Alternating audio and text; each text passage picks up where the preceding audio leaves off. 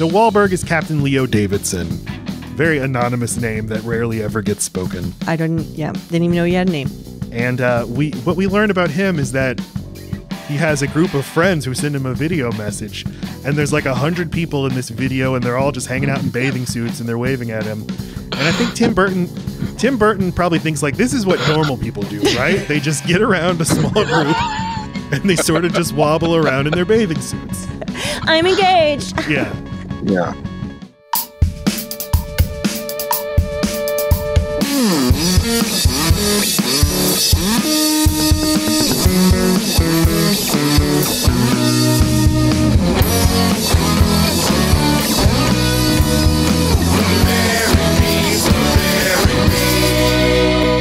Welcome to Load Bearing Beams. I'm Matt Stokes. And I'm Lacey Weroff. and out in space on a pod, flying into an electromagnetic storm. Who is with us?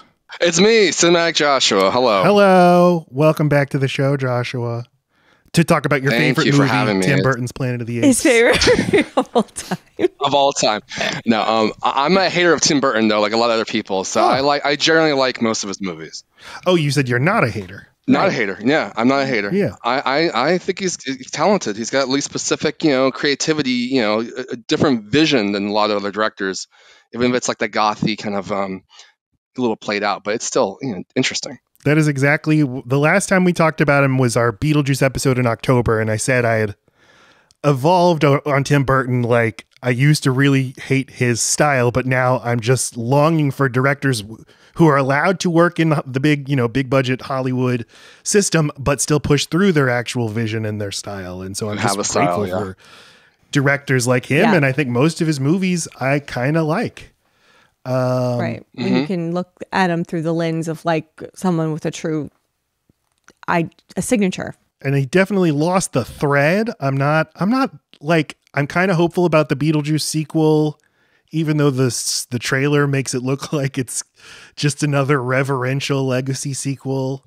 Uh, but everything they're saying about it is promising about it using practical effects and puppets and stuff. So yeah, we're we're talking about the Tim Burton Planet of the Apes, the 2001 remake of Planet of the Apes.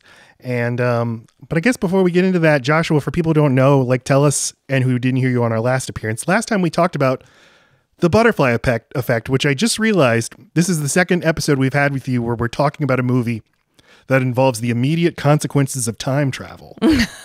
That's true. I, I do love time travel. That's probably my favorite genre. If I had to pick one, hmm I mean, I know it's a subgenre of science fiction, which I also love, but um, yeah, I'm Cinematic Joshua. I am on TikTok as that name, and I'm also on YouTube. I'll be doing a lot more of that soon at Rated Awesome Show. I like to do um, not just general uh, movie reviews, generic ones that anyone can do, just kind of talking about stuff. No, I like to actually have visuals. I like to have concepts. I like to have play different characters, bring some comedy there. So I like to think of my reviews, if I can, as elevated movie reviews. I know it's pretentious to say, uh, but I also do TV uh, reviews also and music, and I have a lot of um, rock fix coming up for Welcome to Rockville. Um, lots of great bands in that uh, this year, and also um, a lot of.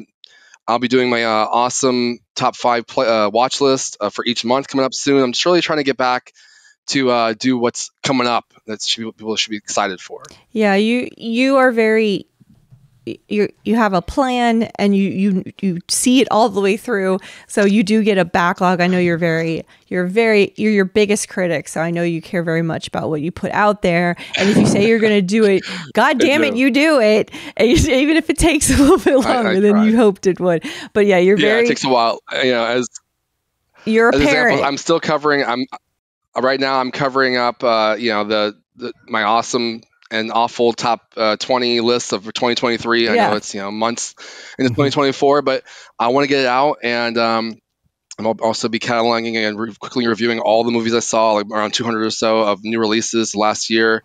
Just like a few seconds on each of them, going through Letterboxd. Uh, there'll be a few series of videos, but then I want to get cop, cop again and really get you know back to 2024, which I've done some, but I want to get fully back into that soon. And yeah, it's just tough, you know, trying to stay on top of things, and that's why I do Letterboxd quick one sentence, Mhm. you know, reviews that I think are a little um, uh, sar- sarcastic and and uh, brutal if needed, uh, but hopefully uh, insightful as well. And I put that on TikTok also with some music there, and, and that's just you know 15 seconds or so. That way keeps me up to date with Yeah. things because it's hard to keep up to date with stuff. There's so much content. And It's I- you know, no one can watch it all. So So this this will be coming out the day that the Kingdom of the Planet of the Apes, the first new Planet of the Apes movie since 2017, oh is yeah. coming out. So I guess like the summer movie season is upon us. Is there anything you're looking forward to specifically this summer? Oh, absolutely. I have a whole uh, on Letterboxd. Uh, you know, at Rated Awesome is my Letterboxd. Um, I have a whole um, summer movie, uh, you know, watch list there. I have a top 50, I think, most anticipated or uh, movies of the whole year. And actually, Kingdom Wow. of the Planet of the Apes is my number number one. I don't blow it too Wow, much, okay. but I love the the Planet of the Apes movies, the franchise. Uh, I like this one, not love it, but I, I love the um, the Matt Reeves versions. You know, uh, Rise, Dawn, and War for the Planet of the Apes. I love those. I'm planning on rewatching them soon, and this is a continu- continuation of that one. I'm also really excited for Deadpool and Wolverine. I'm excited for you know uh, Inside Out 2. I mean, I have a whole lot you know on there, but I, there's so many great things coming out this year. It's it's another great year for movies. Okay, well, I mean, I guess speaking of that, let's go around the room and talk about like our relationship with the very long Planet of the Apes franchise. Joshua, you said you like it. Like, what's your what's your history with the whole thing? Yeah. Yeah, so I think the first one I watched was the original one from 1968. Uh, I was probably a teenager, you know, fif- 14, 15. I watched it like on Sci-Fi Channel or something like that. They're having some marathon, and I at least watched that first one, or maybe I watched that first one before, and I watched. They had like a marathon of all of them, so I, I think I stood up, stayed up and I watched like almost all of them. They were showing all the original ones. I think there's That's like five night. of them. They, I think they're all pretty good. They're all fun. They all have something interesting to say. Um, there's you know some are better than others, obviously, but then I really uh, and then and then this one came along 2001 when I was a teenager in high school, and I I was I big Tim Burton fan for a while there, especially, and uh, I like Mark Wahlberg also, and sci-fi, and I love the makeup in this movie. I love the costumes. Uh, we'll talk about that later on, but um, the production design, all that stuff, and it was a fun action movie. I enjoyed it, you know, for what it was. And then, of course, the new ones came out, like I just mentioned, uh, and I absolutely love those. I mean, the way they do performance capture with that, um, with the humans being uh, being the ape characters and having real gravitas to all the ape characters, Mhm. and have different sub, you know, um, sub, you know, different storylines and stuff. I think they're all fantastic. So I think there's a lot. Of, I think it's a great franchise as a whole. It's um, it was it was. This is definitely the the Mark Wahlberg Tim Burton one is the first Planet of the Apes movie I ever saw while being aware of the old movie, probably mostly through The Simpsons, um, and being aware of the twist ending and everything. And I actually really Yeah. liked this movie. And this the reason we're talking about this movie is because it's it's my load bearing beam, but it's my load bearing beam of hey, people hate this movie, and I think it's pretty okay. okay. and that and still I during this discussion I'm going to advance the argument that this movie is pretty okay. that's your uh, sassy beam. Agreed. Oh, way overhated. Later as a teenager I watch the original uh Planet of the Apes, the Charlton Heston version, and I would say that might be like a top 20 movie for me. It's such a good movie. The twist ending kind of overshadows everything that makes you forget how incredible the rest of the movie is and how incredible the movie is even before you meet any of the apes. Yeah. And um so so I'd always uh definitely always been like, well, obviously the original is one of the totemic sci-fi movies ever and the remake's okay. And uh I I saw all of the modern entries. I saw Rise and Dawn in theaters and liked them fine and then kind of never really went back to them until the past few days where I revisited them. And I think they're they're objectively better movies, but I still prefer this this version and I think there might just be I'm just too much an old man yelling at clouds about how I will never connect to CGI apes oh, the way I will to people in costumes. Uh, even the shitty uh, Planet of the Apes sequels from the 70s, I feel like I still, those feel more real to me than the really impressive CGI Hmm. apes of the Matt Reeves movies. yeah. I had a hard time believing that it wasn't CGI that I was looking at watching this movie. Yeah. I, I, I was blown away and annoyed at how much they had to sit in a chair and take and put on makeup and then deliver those lines. Yeah. and you can hear everybody just like, how can I open my mouth as little as possible and talk? Like, General Wait, because they're gonna fuck up the makeup, or because they can't open their mouths? They literally I don't think can't. it was their their don't think it was makeup that won't let them. oh, okay. Lacey, uh, what what's your history with the Planet of the Apes franchise? Okay. Well, I definitely saw the 2001 one in theaters. I, I just remember going because a boyfriend said, let's do that. And then walking out and being like, there's a movie. Okay. Uh, waiting for the end. I don't know. Um, I would have been into Mark, uh, Mark Wahlberg by then. And I don't, I wouldn't have been aware it was a Tim Burton movie. Um, but I definitely never saw the first one until you and me watched it. Unless was that the second time I'd seen the first one No. with you? Okay, so um, so I've only ever seen the first one and this one, and I feel very unprepared in that I had didn't see any of the other old ones or any of the more recent new ones. So That's okay. Yay! I, I think that Um, the, the the the 2001 is so in dialogue. Wait, you haven't the- seen any of the Matt Reeves ones? no, I didn't. I didn't know. I didn't know I- there was going to be a test. I sat down with you years ago to try to watch one of them, and you said, "I don't care. I don't like monkeys. Turn it off." I like them too much. Okay, Oh, no. I, I had a hard time with fucking ecclesiastical I- or I whatever his name is, the monkey in this movie, the fucking ape. God damn it! God damn it! Planet of the Apes sounds so fun, and then you sit down to watch Dawn of the Planet of the Apes, and it's very bleak and solemn, and it's just apes sign languaging to each other Oh, with fuck! subtitles. Oh God! But I was saying, so but you recently watched all the new ones, right? And then Lacey, you didn't get Lacey in there to watch those? No, Fuck no! Oh, come on, Lacey, No, there are um, we're they're doing amazing. very different things in this. they're not necessarily fun or light, but they're good. Yeah. No, no. Where I, you lost I. I do tons of homework movie watching, and to get Yeah. Lacey into the room with me to watch something with me, I have to be very judicious in what I select. Uh, she's this may surprise you. She's not that easygoing, and so I know, I know. if I'm going to have her watch something, I need to be sort of very careful about it. but years ago, I like I remember seeing Dawn of the Planet of the Apes and thinking that's a really good movie. Lacey, you need to watch this. And five minutes in, it's just apes sign language doing signs to each other, and there's a lot of subtitles, and Lacey doesn't want Right. to read on screen for very valid reasons. But then you said we're not watching this. I don't remember that, so I can't defend myself. It's, it's so good. But I I did break my subtitle rules long ago. Uh, I think was it Squid Game or was it Parasite? Parasite that did it. But that but that showed me I can I can totally do subtitles. So maybe it would be different now. But um, I, I think maybe it's the wrong thing to do to start with the first one. The first one just gets it so right that I d- I don't get the need for the second for the 2001 one. Honestly, I mean I'm. Ugh. I want you to tell me. I want you to convince me otherwise. But I, I won't be able to. And and I have a, I'm going to talk about the development of this movie and I think that is a big problem that Burton himself doesn't seem like he had an actual reason.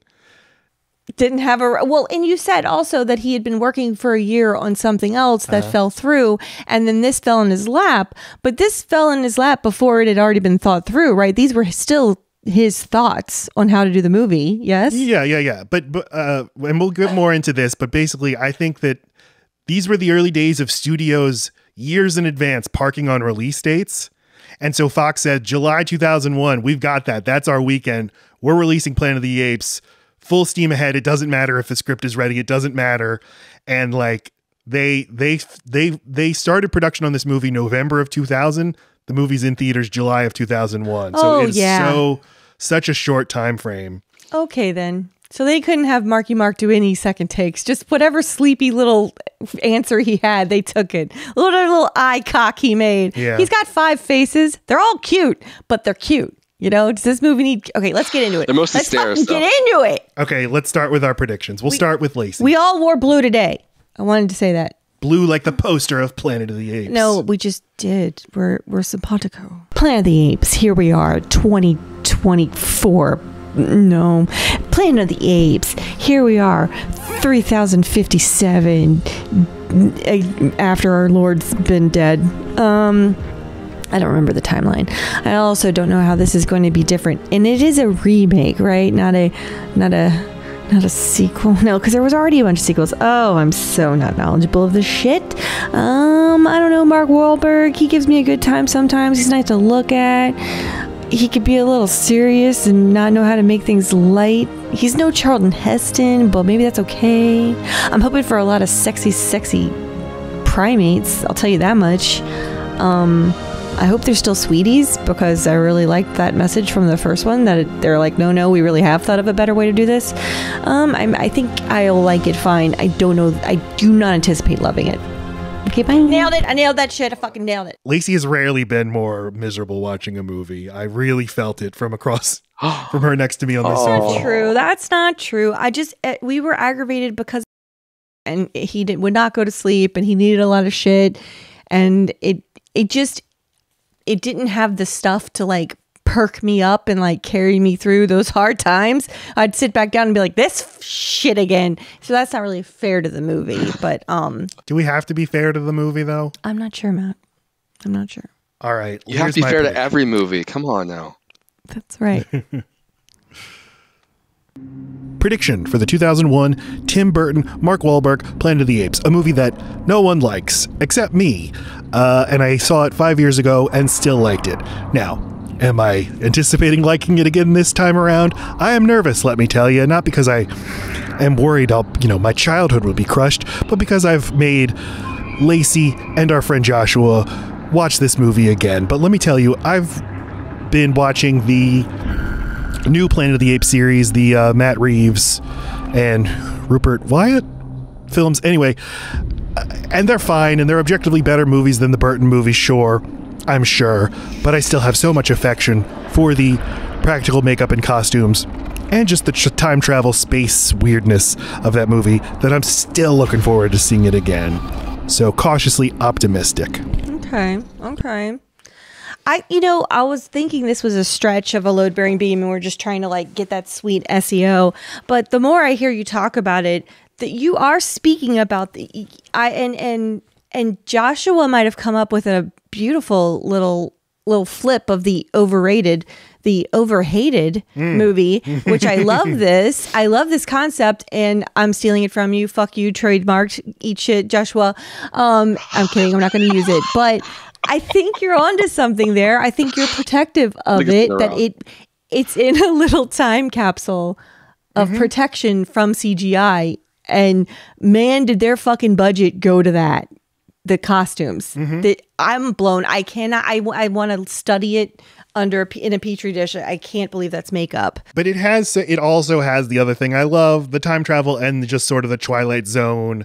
Uh, I'm immediately having to deal with the consequences of this world that I inadvertently created. Well, and this motherfucker's playing Russian roulette twice. This is not a smart astronaut, scientist, military man. He's not the ideal man. For He just job. ate a pod going after his fucking friend, and then and then as soon as that planet's yucky, he's like pod, and then it. Like, You I'm- idiot! I'm fucking out of here. Where you thought you'd go to the exact same spot? Where did you think you were going? Wait, what are you talking about? that he decided to go through an electrical time traveling storm twice is so stupid. No, he knew at No. the end of the movie. He knew at the end of the movie he had to go back to go back through time. But everyone's dead already. No, no, no. And this is just a throwaway line. He's like, "Oh, push me forward through time." so, ergo, I need to go back. Go back through time, and uh, and he does. and no problem. It's just that when he gets back to his own planet, it's got apes on it. Anyway, all right, let's do Josh's prediction. Okay. Joshua! Joshua! Ooh. I remember really enjoying this movie as a teenager, mostly because of its technical aspects, the production design, the costumes, the makeup, the actors involved. I think it's a pretty good action movie. I think I'm gonna like it a lot less than I used to because of the writing and like the general. It's not a lot of big action sequences. You can really feel the age but I think it'll still be a pretty good time, and especially really like the twist ending. I wish they continued with it, and I think it's way overly hated. Okay, Matt, I like what you tried to do here with that thumbnail, but you, what is that picture you picked of Joshua? Jesus. No. I'd like to use that for promotional. I'd like to use it for promotional reasons, but um, I won't do that to him. Okay, well, Lacey, you can do it yourself. It's just It's something I did in ten seconds. I like it. um, it seems like you didn't you didn't mind this movie this time. It's true. Yeah. It's like I said, it's um I love the franchise. I love the callbacks to the originals. Um like I said, the, really the prosthetics is like isn't is just awe inducing like um Mhm. Rick Baker is, is a genius. He's a Academy Award winner, makeup artist. He he had a The vision goat. for it. He loves the original Apes movies. He did some other makeup on on monkey um, apes ape uh, movies before, and he wanted to get it right, and he I think he did. He did a fantastic job. And they had 100s of extras. yeah. They used like other masks and things like that. But they also had like a lot of primates. They used like dozens of primates with actual like just individual. Everybody has their own individual personality and look, and it's, it's great. Yeah. That part's great at least. Some of them, like uh, like Paul Yeah, they- Giamatti, like some of them, you just can see them. They look like them. They they, it it's so And it, expressive, it just sucks because like this is like the very end of the era of that. right? Like from now on, we're not doing this anymore. it had to be such a huge makeup Right, crew yeah. though and you you must really truly be torturing your actors i mean for that alone i it does seem a little inhumane a little a little Rebecca Romijn It was generally if I like- might. Two. it was Thank during like two hours of the minimum to like joke. four hours at the at the general. Uh huh. Um, yeah, the Mystique joke was good, but um, yeah, it's it was it definitely um the the actor some actors you know like you like it more and they deal with it, but yeah, it's uh, it's worth it and sometimes in the end, but obviously we can do it now performance capture just as well, even better. And it looks maybe a little better. Right. I mean, it takes a lot less work to do it, at least with the actors. So That's the job. That's what the money's for. you know, it's a trade off for either way. But uh, yeah, this was one of the last ones to do that, and I think it's more one of the more of the fun, like action heavy ones. You know, it's not as serious as some of the other ones. It's not as bleak as some of the other ones of the franchise. Yeah. I mean, yeah again, I, I love the newer trilogy more. I guess the more you guys, uh, and Lacey hasn't seen it, but they're great movies. I recommend everybody watching them. They're not like popcorn like fun and light they're like they're heavy topics they're dystopian they're great action suspense and the characterizations are all there for across everybody who are the like lead like who are the humans Uh, all a whole bunch of nobodies. I Oh, mean, not. It's James Franco's in the first one. Okay. Jason Clarke is in oh the second one. i remember that But- now truly when i watched these when i watched them recently i thought these are the most in like the most dispensable human leads you could ever have. Like And that's what's so interesting to me about it's just such a far cry from Charlton Heston to Mark Wahlberg that for so much they tried they did keep true to the story. Like I knew what the beats were going to be. It really did stick to the the main mm-hmm. the main storyline. So just to be so true to some of it and then to fucking Mark Wahlberg well there's there there, ju- there is just a giant hole in the middle of this movie where the big movie star performance at the center of it all should go and Wahlberg is just not up to the He's task just not, he's a lovable big brother who can protect me all day long. That is fine, but that's all he gets to do. like Heston He- he's he's young in his career yeah, but he had already done Boogie Nights. Like he knows how to act. I, I I think he is somebody who like a good director can get a good Yeah. performance out of I don't think he's I don't think he's bad in this Oh, one. I think he's so bad. I think this is like a ruinously bad. Really? Like, And I wouldn't. I don't even think I'd blame it on him. It's I, not even him. He, he, he doesn't even realize his It's more the low. writing. I, I think. I think it's Right. the script. I think. I, I think that this is a. This is just a Yeah. so badly conceived Yeah, uh script. Where whereas where in the direction and the production Yeah. design and all that is working really well, but they just have nothing to actually work with, and he has nothing to hold on to. exactly. And they're not leaning into any of his strengths. I mean, they could be in the jungle parts and the in the action parts, but they don't. But like, he's not a believable scientist. I can believe Matthew McConaughey is a fucking scientist, but I can't believe he is. They don't give him, and he doesn't even seem like he is. He's just like a monkey companion or a chimp helper. I don't like, but he's also an astronaut that knows how to work a pod. Like, I, Yeah. I just don't believe any of it. And then he's totally a leading man, but and two people fall in love with him in this movie, and I don't see it, my guy. I don't fucking get it. yeah, that didn't work. Now the the um the blank check podcast talks about him like he they said that he only works in movies when he plays low status. Yeah. If you make him a scientist or an astronaut or something, he just doesn't know how like he Yeah. always has to have a chip on his shoulder and people are not taking him seriously. yes. But where he has to play like commanding in control of the situation, it's just hard like he's got nothing there. It's like stop it. I'm going to I'm going to tickle you. I'm going to tickle you. That's what I want to do to him. One more thing before we get into the history. Uh, just for the record, it's not, I, I know we complain about CGI on the podcast a lot. It's not that it's not a valid thing to use in movies, and the new Apes movies are like the very height of motion capture and CGI. You can watch tons of great videos about how uh, Weta, the production company that makes the does those digital effects, does it. I think I'm just like brain pilled because I went to Universal Studios as a kid, where I'm like, there's no, you couldn't make an attraction around guys sitting on a computer pointing a mouse and making CGI apes. So it feels to me less like If you- personal. If you can't make a ride out of it, it's not a good movie. That's right. That's what I'm saying. Okay.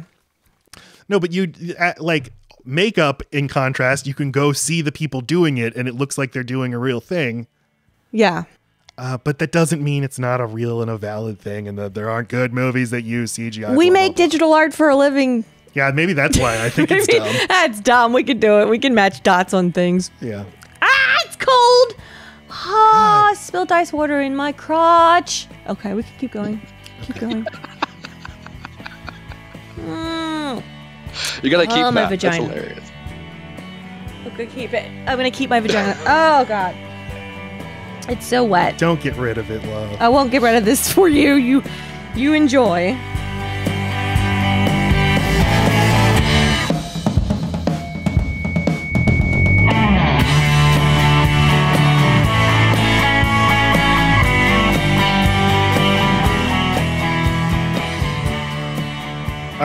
This the, plan- the history of the Planet of the Apes Oh, begins with Mr. Monsieur Pierre Boulle, who in 1963 publishes Planet of the Apes, or as its title is in French, Monkey Planet. uh, this was his only work of science fiction. His other best known work is Bridge on the River Kwai, oh yeah. which was adapted into an amazing movie. The screenwriter for both of those movies is the same man, Michael Wilson, who uh, also wrote the 1968 Planet of the Apes. Uh, has anybody here read Planet of the Apes, the novel? Matt is only asking this question so that he can raise his. I've not, but I want to. I've been thinking about it. I, I think I only, I think I only recently found out it was based on a book, or maybe I forgot about it for a while. But um, yeah, I'll have to. Uh, it's only one book, right? I'll have to look look for it Yeah. sometime. and Try to listen It's to pretty short. I read it all yesterday. it's uh and it's very it's fascinating. It's all it's like it's fascinating to read a novel of a movie you've seen a million times. And it's like you're you're entering sort of a parallel world where you're like, I know that character, but that's not what they say. Hey, that's not what he say. it. But but um the the, the ways that I'm sorry, I'm swatting a fly. I'm not trying to get your Let's attention. high five. Um, the the book basically opens in the distant future, and you have space travelers named Jinn and Phyllis. They're on a space cruise, and they find a floating bottle in space, and so they get it. And inside the bottle is a manuscript, and it's the story of a man named Ulysse. And he recounts his story of stumbling upon the planet of the apes. So the rest of the book is just you're reading what they're reading in the bottle, and it's his story of going to the planet of the apes. He's he's Charlton Heston from the from the first movie, basically. A few differences are the uh, apes don't speak English, like they can't actually communicate with Okay. him, um, and and they're also more technologically advanced. And both of those things make more sense to me. But but i i think it would have made the movie less engaging and le- like kind of the movie wanted you to just skip right to like the fact that a religion formed around this that that it's that it's a primate made religion that like we if we had to do it over again and we always do have to do it over and over again we will make the same mistakes and use the same things to control and we will get things a little bit better but then make problems where we didn't know there could be. It's parenting. Fucking we're all going to tell the same lies. Right. um, the, um yeah but the english part was uh, as soon as we started watching the 1968 version i'm like oh come on they speak english this And- is stupid and but it's like he does eventually learn to communicate like they learn each other's languages it's like Right. the movie arrival but i get that when you're making a movie you're like we need to just skip to the part where they can understand each other Right. Well, and um, I will say about the first one as well. The the humans not being able to speak that are already on that planet makes way more sense than and that's that's also the case in the book okay. That just makes way. I mean, it, it is a we- uh, that's a, a thing a mistake i think the remake does I think so too. but okay so the other I mean, it makes sense, like, like, like uh, story wise. But why would it make sense logically? Why would they lose their knowledge of speech? just by being subjugated. Like they can talk to, together if they're in prison or Exactly. in camps or whatever, or living in huts. So why no? Why wouldn't they lose their speech though? It doesn't make sense that way. True. Yeah, but like in the remake, they're they're not like the apes have no reason to consider them lesser Exactly. beings other than prejudice. And I think that the then it makes the the sort of metaphor it's like literally just Racism. an apartheid state that they're building. And I think that's I think it's more interesting to think um about how like we treat animals I and mean we that's treat okay. I things think that that's we okay. can't They're understand. racist. yeah, but like That's a different thing.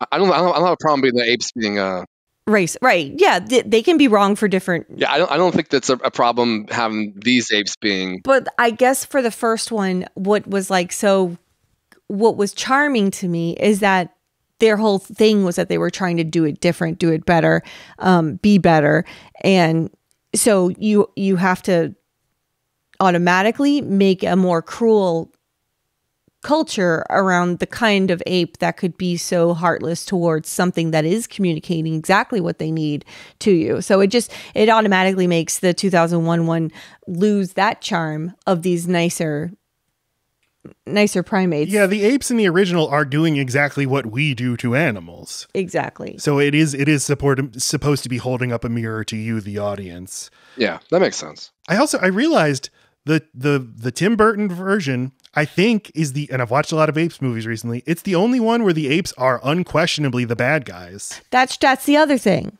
That was a lot. Like I like that the apes. I I was on their side in the first one. And in in the Matt Reeves one, like you are 100% on the ape side. They're the sympathetic side.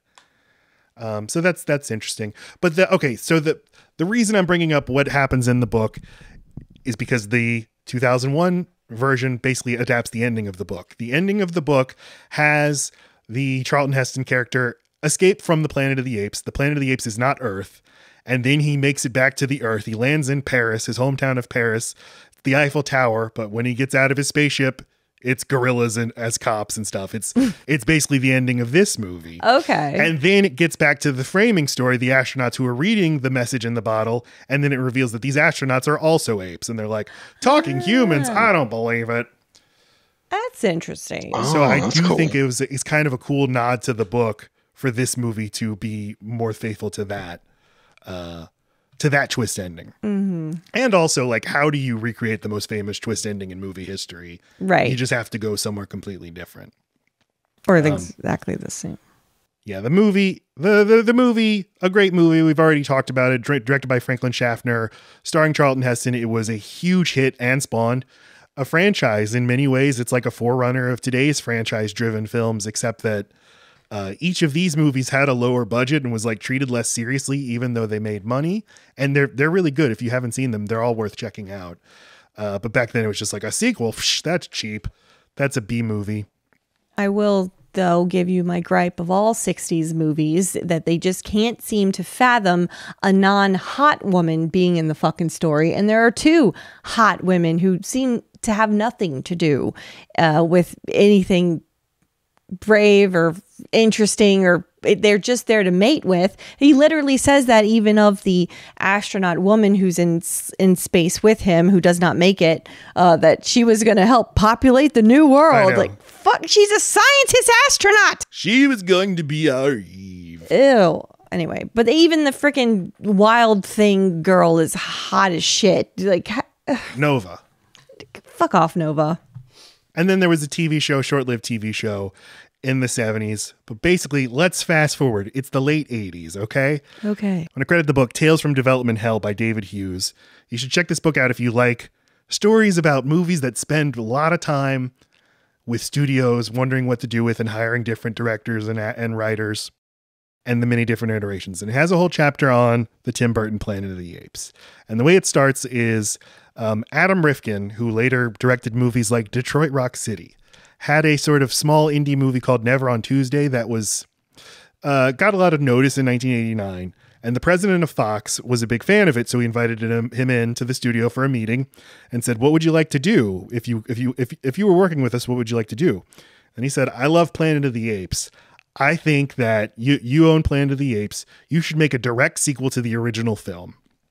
And that kind of gets the ball rolling um, over the next decade of developing what, for the most part, is supposed to be a sequel, kind of like what what movie what happens in franchises now, where you just make a direct sequel to the original. Um, and originally Rifkin is involved, but then it goes over to bigger directors like Oliver Stone. And that would have been eventually- interesting. Yeah. Eventually settles on director Philip Noyce, who made the um, Noyce. Who made the uh, Harrison Ford Jack Ryan movies, and the star attached was Arnold Schwarzenegger. and the script, everybody was saying this is the best script I've ever read. It was called Return of Return of the Apes. Again, it is a direct sequel to the original movie that's going to ignore Planet of the Apes 2 through 5. Okay. And again, you have Arnold Schwarzenegger, the biggest star in Hollywood at the time.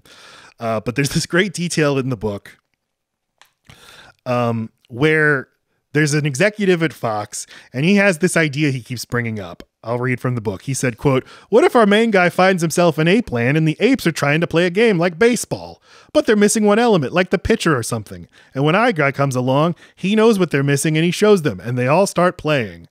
End quote. Okay, so he tells this to Arnold Schwarzenegger and Philip Noyce, and they're like, um, okay. And he's and and so they leave the meeting, and the script gets rewritten and delivered to the studio again. And the same guy's like, hey, where's the baseball? and uh they're like, what do you mean? He's like, doesn't have any baseball. So at this point, they lose Arnold Schwarzenegger and Philip Noyce, and it's just we've all had bosses like this. They're like, but if I don't have my own idea, Oh what's the point God. of me if I can't put my own stink on it? I want apes playing baseball. So that's how they lose on Arnold But what primate of any kind would be playing a game without some sort of major part of it that makes it work at all? Who? Why your- would they be playing it? He's just the ideas guy. You figure that out, little writer man. You go figure this out. I just have these great big ideas. We really have had this boss many times. Oh yeah. Okay. Uh, the the project ends up getting offered to screenwriter William Broyles, who had written Apollo 13 and Castaway. And he said he had no interest in it, but the studio was like, please, uh, listen, how about this? You can do whatever you want with it.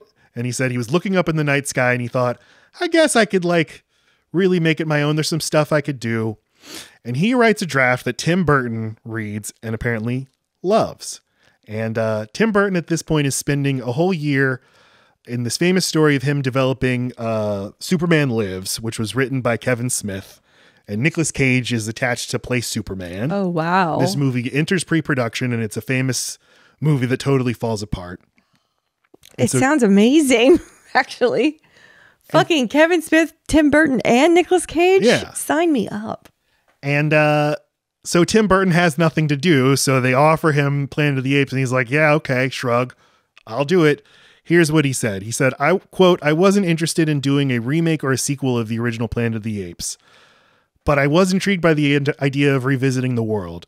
Like a lot of people, I was affected by the original. It's like a myth or a fairy tale that stays with you. The idea of reimagining that mythology was very exciting to me. End quote. And the, the thing they kept saying is this isn't a remake, it's a reimagining. Is it? No, it's not, my man. Mm-hmm. It is. No. Paul. What are we- Barely. It is. What? Thi- Fucking bar- All those differences you you're talking about, convince that's the reimagining part of it. Well, Joshua, Fine. like Tim Burton is very distinctive uh, style and vision, and he has his things that recur throughout his movie, Like Melissa Glassbottom. like striped. Uh, What's her name? what like Helena Bonham Carter? That's what I said. okay, but like this feels like the least personal of all of his movies. like-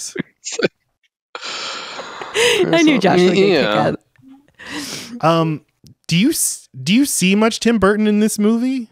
More the designs of, of the of the you know the the technical aspects of it, like the costumes, the hats, the swirls, there's shapes, there's things like that. Um, he's got some of his actors in there also. Mhm. Um, you know, I, I would I would I would say it's a Tim Burton movie. I don't think it's devoid of his touch. You know what? I didn't even think about that, Joshua. But you're right. The those hats are so extra. Um, the, they're they, they very much Wizard of Oz vibes. Um, Right. it maybe also it's like whimsy and the way that he decided to let them move just like apes. Like the way that the huge jumps and the climbing the randomly climbing up shit and just swinging from something for no reason. It just it is kind of his playful kid like mm-hmm. framing of stuff. It's it's it's what a kid would do if they were a monkey adult. And I think that I think that all the like ape society stuff, like the dinner party, yes and just like looks at like there's you see have like the have the heavy metal apes, and you have the ape and his wife who are like going to get down to some ape s and some s, s and ape. Uh, I think I think that that's the stuff that probably attracted him to it. But then you kind of get away from all that and it just becomes an action movie for That's the the worst hour. part of it, though. yep oh wait what part what part's the worst part I think all those stupid little um, the way that they're like humans. I think it's it's so cheesy. I think that's the part that doesn't work at all for me. Oh, I like that stuff. The, I've- the foreplay, the It's ape not good, but I foreplay. like you it. think I think it's I think it makes it too silly. It, it makes it more Yeah. fun, I guess, but I think it's too silly. No, and I have that same note. I've like I don't need an exact replica of human street punk kids wearing leather jackets and smoking from a bong. That is so stupid. So that's what I mean by like I guess you're reimagining it, but you're just putting way too many human qualities into this world and leaving out a whole bunch of other random ones. And the maybe we're not here yet for this complaint. No, go ahead. But the variety of of ape. I, I understand humans have variety, but we don't have a variety in the people we choose to serve at the very top of our military. Those are some of the most buttoned up, prestigious, straightforward white men you're ever going to see. They're not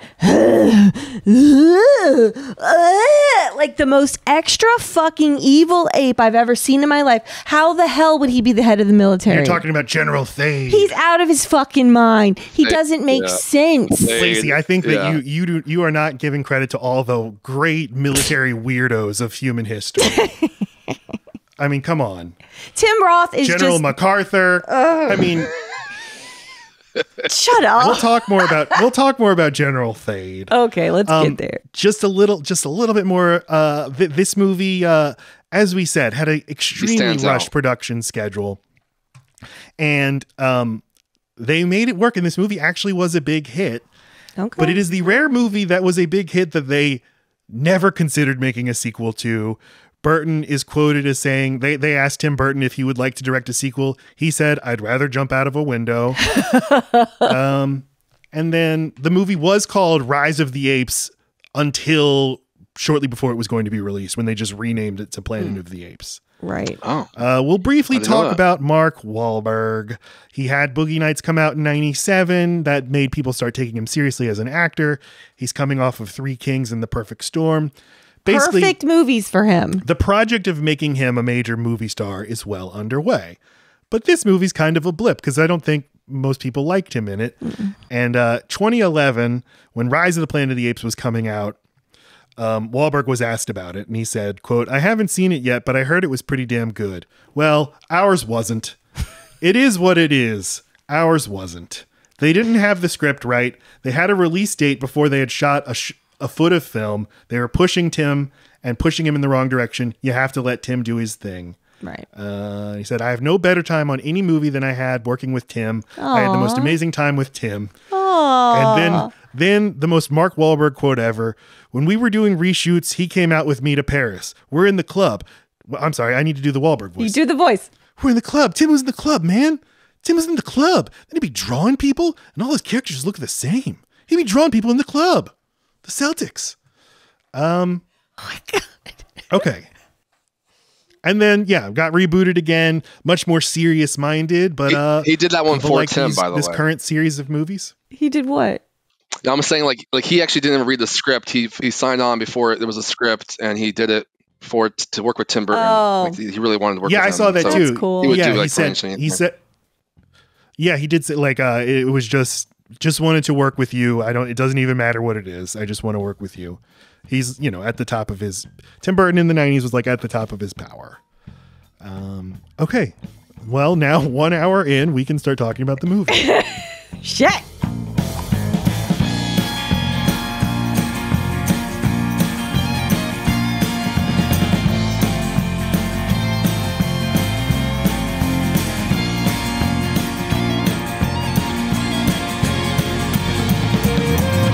Okay. Um, it's a 20th Century Fox movie. Okay. Isn't it weird that the new movie is a Disney movie? That's weird. Is it? They're gonna make a ride out of it, probably, Matt. The thing you want. It's just weird. Um, No one gets hung up on the shit like you. I uh, I actually really like this opening theme by Danny Elfman. I like Danny Elfman. It's got the uh, the percussion mixed with that sort of Oh. falling bass. Yeah. Um, okay. Another highlight of the movie is the score. Yeah, I like the score. I like the score right away. Okay, so we go we go to the Oberon, the space station, where we meet Pericles, the great chimp. They instantly fucking lose me. And I wrote in my notes, I watched this movie twice in the past two days. The first time I watched it without Lacey. And I wrote in my notes, Lacey's not going to like this because Mark Wahlberg immediately teases Pericles the chimp by offering him a treat, a treat but then not giving it to him. Give him the treat. Yeah, Well, uh, no, I'm upset that he's in a full outfit. That monkey doesn't want to be in that full outfit. I he bet he- looks so sweet. Not a monkey, he's a chimp, that but I chimp bet he deserves takes, to breathe. takes a lot of pride in his work. He's so sweet. I just, I just, the the mishandling of something so cute is never going to be okay with me. I realize these humans are nice to him, but that other human was not. At least give us an ugly chimp. There are no such thing. Okay.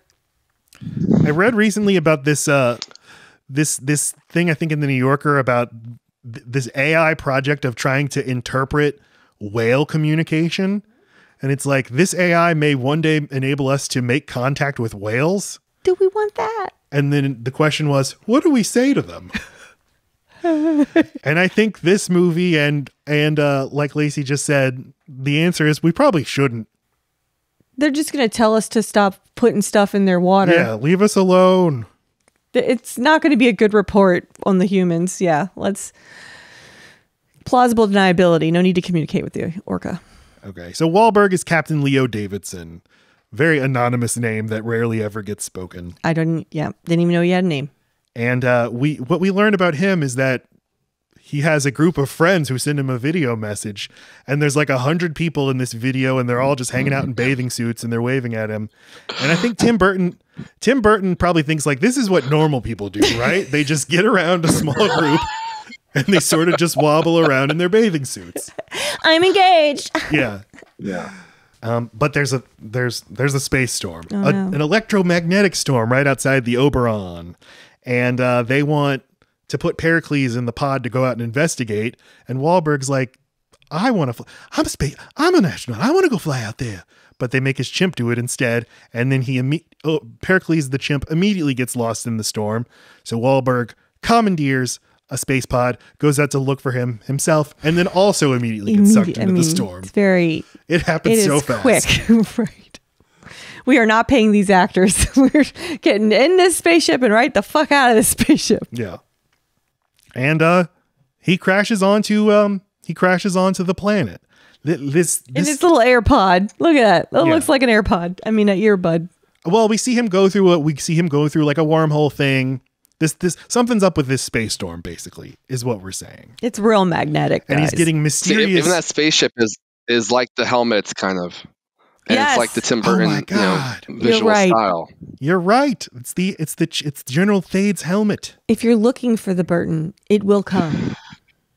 You just got to know You what gotta, to you look gotta for. look for it. I mean, Danny Elfman also, you know, frequent right. collaborator, frequent, you know, composer. It's got, Colleen you know, Helen Bottom. I think the this is the first movie he worked with Helen Bottom Carter, is. who This eventually married met. or dated or whatever. Mhm. But he's, but then she was in like every movie after that with him. Right. And Yeah, they- uh, Tim Roth also worked with him a few times. So he's Yeah. people. Yeah, Yeah. he and he and Helena Bonham Carter did the Spider-Man meme with each other.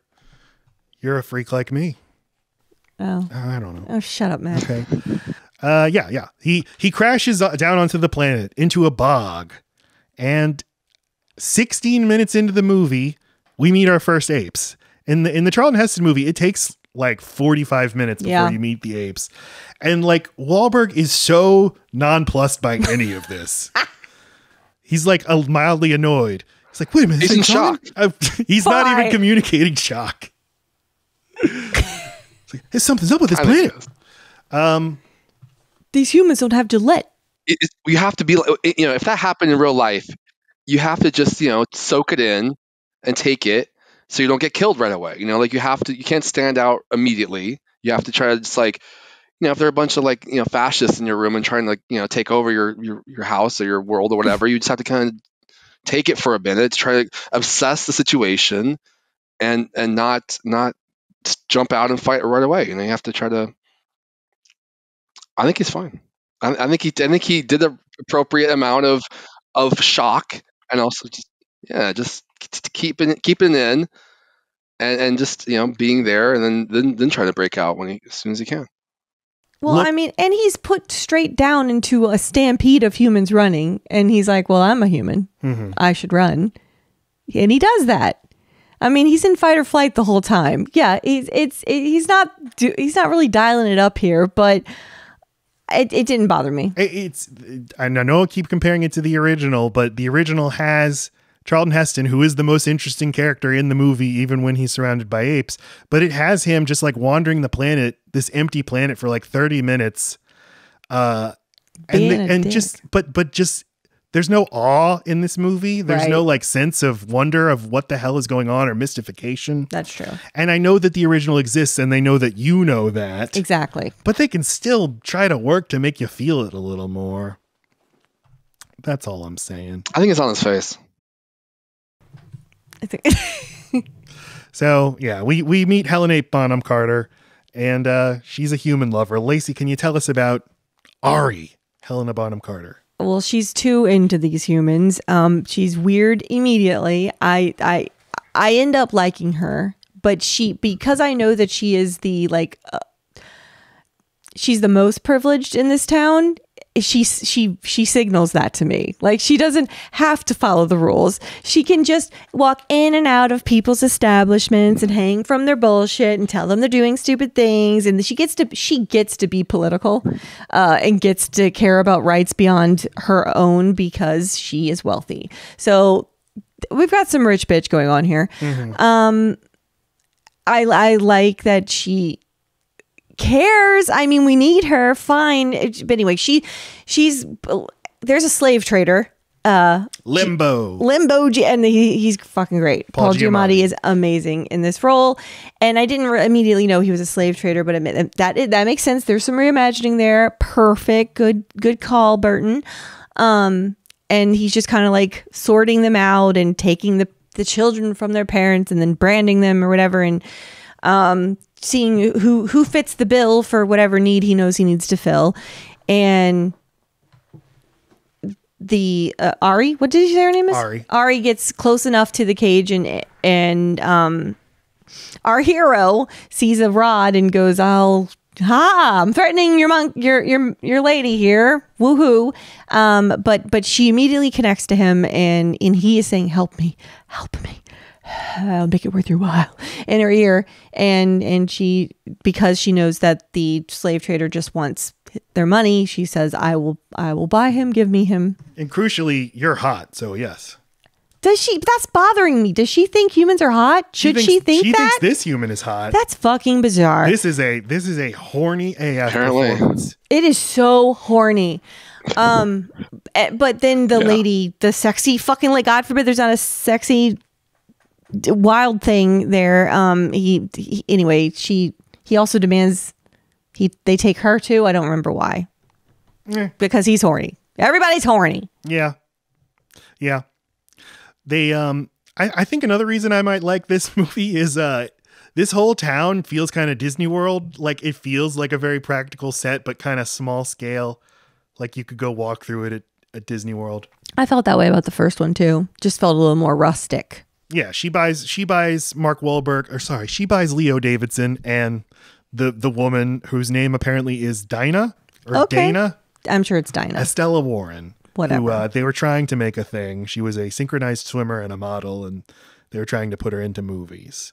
But um, yeah, she takes them into service in her house, and they have a big ape dinner party with all of Ape High Society, including Otho himself, Glenn Shadix, who plays a big orangutan, and his weirdo wife.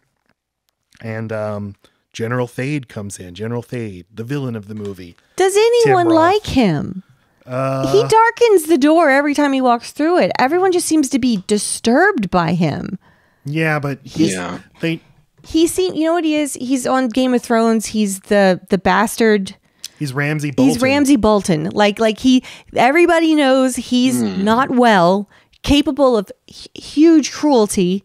He will make your life hell if you get on the wrong side of him. He's got enough power to influence that, but not all the power. He still needs stuff. But I mean, as soon as he comes in the room, the room fucking changes. He. Why? Yeah. I mean, I, I what? I, I is it working? Was this was this in per, um, What mean meaning do we like this performance? I mean, the performance is good, but does it fit in this movie? I don't know. It, it feels no one else is acting this I- way. Yeah, I don't think the performance is good. I, I like Tim Roth, but I think he overplayed this, overacted Yeah. the hell out of this role. I don't know why he's so angry in every like breath he has. He's got one like small scene with um Ari, who apparently they're kind of love interest, or they, or at least he wants to in the past, or whatever. And he's a little more softer, but Yeah. generally he's rough, like on, on at a ten scale of anger all the time, and it's just so annoying. Even to like It is Paul Giamatti, who's just doing his job, and he's like jumping out at him and like, "What are you doing?" And you smell like humans, all that stuff. It's like, shut up, man. Just keep it down a little bit. Can you just be cool and evil I'm over there, and not be evil with every all your other He- he- All right, I'm so glad you apes around agree. on your yeah, team? I, I appreciate that he's Yeah. he's making choices, but um, they're the wrong ones. I mean, he's just he's just turning it up to eleven, and it's not dialed in. But the whole movie seems so yeah, poorly conceived that there's no like Consistency. it doesn't fit with anything It else. does. Thank you. I'm And so then- glad that this is true because you've got something so silly like the wife of Ortho, where like she's so Manhattan, so so human, Mm-hmm. and then this. They they th- this dinner scene like they drop like a lot of threads that seems like maybe they're going to follow, but they don't.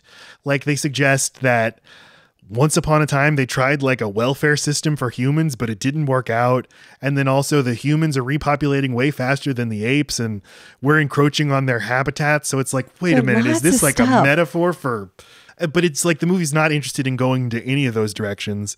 And then the senator who's played by David Warner who's Helena Bonham Carter's father he invites Thade over and he's like, Thade, you're a little too extreme. And then Thade quotes Barry Goldwater and he says, Extremism in defense of apes is no vice, Senator. Uh, yeah, there's just, they're throwing so much at you. Um, but the movie's not interested in really following any of these threads. Plus the random absurd cruelty to their servants. Like this family, who you respect, has chosen to have humans in their home and they treat them a certain way. But you're just going to uh, put all the food on the floor, number one, mm-hmm. and then. It just doesn't make sense. Who would tolerate this if they weren't all just really scared of this kid? They're all really scared of this kid. This is Fucking kill him then. now, this is what happens. This is what bullies do. Nobody actually likes the bully, but everybody's afraid because they don't want to be the one standing up by themselves. Yeah, yeah, it's very powerful and well observed, actually.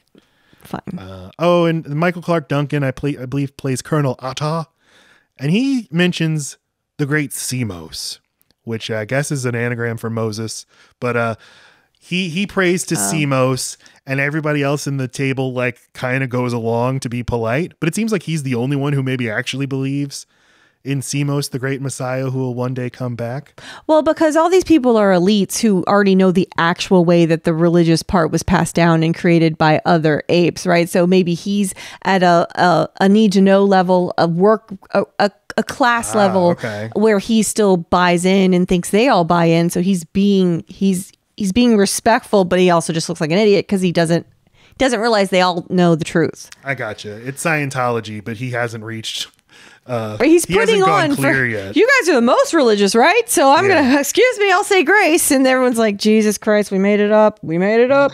Yeah, it's like that. it's hard to know who, who really understands the Semos has a faith and who has the the truth. Like who, who it's not really clear. yeah, it's not. And because later in the movie, Michael Clarke Duncan like makes a big deal about everything I believed was a lie. And it's like, but I, I'm sorry, I can't follow you. So you did believe and you believed because he told you to believe, but now you realize he, lo- like, I can't but track Michael, it all. but Michael Clarke Duncan is the person that's on that level. He's not because even the the powerful bully kid didn't find out anything until his dad was on his deathbed. So it's like it, it- He just happened to be in a room where like most of the people probably knew. I don't know. I mean, you can figure that out once you go through the Yeah, movie, right, right, movie but like right, this. but, But, but in real time, it's like, what is happening? yeah, yeah, Wahlberg pretty easily escapes his cage. Very easy. And then Helena Bonham Carter it helps him. And then he's like, if you come with me, I'll show you something that'll change your world forever. And so they run into the woods where his, uh, That's not what they do. They get all the other people too. okay, they get All the right, other fine. people too. And they get, they, they go to where his spaceship is crashed, crashed in the bog. We find out apes are afraid of water very conveniently. Shit, I meant to look up if apes, if real apes are scared of water. Because that is a random little thing plucked from nowhere. Is that in the book? No, that's not in the book. Um, but it helps them escape later. But yeah, Well, the limitation in the first one is that they don't know about flight. There are no, no birds. They've never even seen an airplane fly through the air. It's magic. And they're, they're not even allowed to really talk about it. And that's how they keep their people contained. So I guess the maybe it's a myth in their in their religion that monk that apes cannot swim because that's how they keep them contained, right? Keep them away from the the uh, forbidden areas. They have to cripple their their people in some kind of major way transportation wise, Yeah. mobility wise. It's such a small colony when you think about the, the vastness of that planet. It's tiny. just the 1968 movie had so much um so much about like the the ape elites concealing this forbidden knowledge uh that this movie kind of hints at but doesn't seem that interested in and when you watch the original now that stuff is so powerful uh, Yeah. Because like you can you can see it as a metaphor for anything any kind of revolutionary idea or just any kind of uh, idea that Method they to don't want you control. yeah Oh, there's there's there's a very easy formula to controlling lots and lots of people eh, and not being lots and lots of people your, yourself. and it's this fear. I, I have a quick answer about the water situation. I looked it up uh, while you were talking, and um, they said that they said that some uh, some apes fear water like gorillas, uh, but some chimps like playing in water, but they can't swim very well because they have more muscle than um, than fat, and so they don't swim, don't have much buoyancy like humans do. Got it. So it's kind of both. Okay. I was wondering. I forgot to look this up, uh, or or just rewatch this part of the movie. In the beginning, when they have all their on the spaceship, they have all the chimps in cages. Do we see other species of apes? Do they have orangutans and gorillas? Oh, that's such a good point. No, I mean we don't see it. And oh, oh yeah, on, on the spaceship, yeah, I Yeah. think there's a few of them. I don't, you don't see it, but there's several apes that they're they're experimenting on. So like you don't see Semos, uh, which I don't know what kind of animal he is. Um, is he a chimp or is he a gorilla or what? But um, yeah, it's uh, you know. I think there's several of them because how else would they all evolve? How would they have That's Matt's these point, on, They- you know, they in must have, society? but They They had to have have, them on but- the, on the ship. I just like if you're doing a scientific experiment, isn't it easier to just have one kind of one kind of ape? I know. You're just saying Matt has discovered a plot hole. A plot hole. Well, Joshua Joshua is more um forgiving than you and he just fills it in for them. He No, fill- I did too. He fills in the hole with the dirt. Okay. I filled in the hole too. I was All just I was just wondering. Okay. Um, and I tried to find out are there instances of apes in the wild interacting with other species of apes Right. and what happens? And uh, apparently it doesn't happen very often. I didn't think so. I did find that interesting that they were like kind of giving you a a, a potpourri of all the different, you know, and and that that someone like a baboon, which is what I think ortho is, right? Like Baboons aren't apes. He's an orangutan. Oh, orangutan. Uh, oh, right. He's like from Jungle Book. Um, that he would be in a in a high position because he is so different from all the other ones, and anyway, any, whatever. They give you a bunch to he like Tim Burton do. He gives you a bunch to look at, not necessarily a lot of explanation. The book and the Charlton Heston movie do make a do make a point of uh, chimps are like the scientists, Okay. gorillas are the are the muscle, and Mm-hmm. orangutans are like the government. Okay, okay, And this movie's like, nah, they're all just mixing together. Yeah, Which is fine. It's fine. they mix them all up. Um, yeah, Mark Wahlberg. He gets his bag and he has some tech stuff, and he's like, "Wait a minute, this is my the Oberon's on this on this plane. I gotta get o- get over to my ship." And uh, he also has a gun, and this It's the only thing he gets out of his bag besides that little Tamagotchi. the Tamagotchi guides him to the Oberon. Mm-hmm. But I, I I like the choice of um, these apes in this movie don't have guns. Yeah, I like that too. guns is like the equalizer to the people who are more physically uh, imposing than you. They even say that. And Yeah.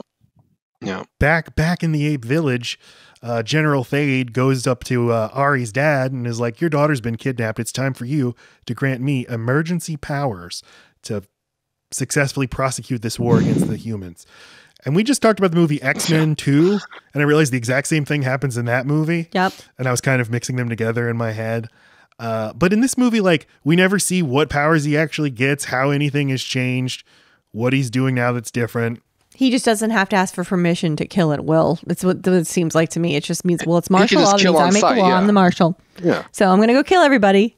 Right. Exactly. You don't have to get the orders from the Sentinel. right? Yeah, but it seemed like he was doing whatever he wanted anyway. The monkey puns are fucking endless for you. Matt has named this slide Charlton Hestape. That's, it sounds like a. Those are not for public consumption. It just sounds like a disease. It just doesn't sound good at all. Anyway, You got okay. Charlton Hestape. That's so stupid. Um, all right. So now is when we go in to see the dying father of the madman who I cannot commit his name to memory. I'm sorry. Thade. Thade. Um, General he's going to s- Thade. General General Thade. Thade. He's going to see Papa. Thade. exactly. I'm not doing it. Um, Is there a soul in there? You're That's General creeping me out. That's I mean, his you would famous listen to the way that Tim normally talks, or like any other movie you know he's done, and this one I, you couldn't even tell it's him. Like his voice I can't tell. is so gristle and so angry, and every little Right. every little breath you take. Honey bunny. It's like, calm, calm. You can be mean and just don't have to be like Right. Buzz. And when he hyper, dials it back for high just that moment, it's like that. It's like such a nice like breath to take when he's just that moment you talked about earlier with um Chari. What's her fucking name? Ari. And and it's just Ari. like yeah, it's just like there you go. Take it to a, a nine. That's that feels real nice. All right, so he goes in to see his dying dad, who is played by Charlton Heston. Um, a little bit of a waste, but I can kind of see that it's him. I, I mean, we need we, if he's alive, we need to bring him in, right? Um, and I mean, his dad just so in tune with his a nice psychopath cameo. son. At, yeah, is I can't tell if it's a slap in the face. I wish we got to see more of his character though. He didn't do Right, a lot. exactly. You know, he's, he's got like basically one scene where he's dying. I wouldn't like see like why he. I don't know, just a little more about what he's about.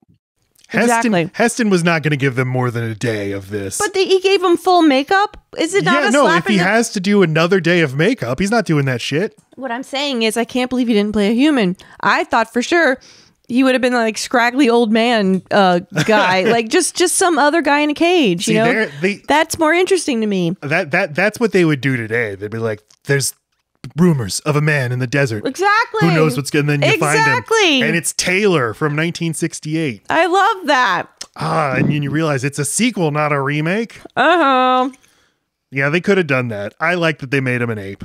All right, fine. But okay, so he's just so in touch with his uh, emotionally in inaccessible son. Um, but I think he's probably just feeling a little paranoid because he's about to die and he needs to pass some secrets on. Son, I feel like there's something you're not really telling me about this human you hate so much. Is it because you think he's an astronaut and that I'm lying to you your entire life and there's ancient secrets? Yes, Dad. That's a mighty Maybe. specific thing, but yes. That's what happened. Maybe that's why. You're lying to me, Papa. Well, son, go break that giant decorative ornament and and find the ashes of your ancestors plus a really broken gun. And this hold- ornament. yeah, that ornament, and hold it the wrong way, you idiot. But the, the, the, the secret is guns. Guns. Guns are what humans do. It's what was their undoing. And hey, how about this? They're making Charlton Heston say this about guns when Charlton Heston. What did Charlton Heston love in life? What did my grandfather, lifetime NRA member, have on his wall? A framed letter from Charlton Heston thanking him for a lifetime of service to the NRA. That is so true. And in the scene, he's like, Oh, the guns are the worst thing that ever happened to us. Or he just turns around and says, "That's right, guns make us human." I wish I meant to watch the scene again. How did they talk if- him into doing this? Right? I I meant to watch the scene again and see is the gun ever in frame with Heston? Is it pro? Did they lie to him about what this scene is? And he doesn't actually know that they're I don't think talking about is. a gun. yeah, I don't think it is either. It might not be. It just it, it, Right, it's he's just broken in holding a up- little base, and then Thade holds it, but I don't think you see him. He doesn't point it at him or anything. I don't think you really see it Yeah, it's In not in the shot. Frame. in the they told they told Charlton. Heston on the bed. something else is in Right. that face. It's eyeglasses. It's eyeglasses that make don't ever let them see well or they'll take over the world. There's got to be other artifacts. it's a Nintendo Switch. Don't give this to them. So yeah, so he- Charlton Heston was just months away from getting harassed by Michael Moore uh, at his house. What bowling for Columbine? Yeah, So where did that gun come from? Do you think? just back from Because the this days is not Earth, Semos. right? In, act- in this movie, this is not Earth. I yeah, mean, it would have been on. they have it would- guns been on on- the on the astronaut ship? They, had must to have. have. Yeah. Yeah, because Wahlberg. You're right. It's no, kind of a shit gun. no. Wahlberg has one in his pouch, but it's on a the nice one. But it's a nice right. silver gun. Yeah, but that's, this is a bad, This one has ugly aged. gun. think This it's one more has aged over thousands though. of years. Wait, and Mark Wahlberg has like some sort of hybrid gun blaster thing from like Star Wars. His gun shoots lasers. That's a weird gun. Fine. This is This- just a. All I, th- I think I think there's no doubt this is supposed to have come from the comes from the ship. It comes from. You know, it was it was very clever of them to make the wreckage of the Oberon ship look like the points of the Statue of Liberty's crown, right? Oh, because they? the whole Jesus fucking Christ, because the whole time you just think you're looking at the wreckage you're expecting. And he's just discovering it very a lot sooner and, and not knowing what he's in. But then, okay, you're like, oh, you're in a fucking working ship. Hmm. Never mind. To throw you off, yeah.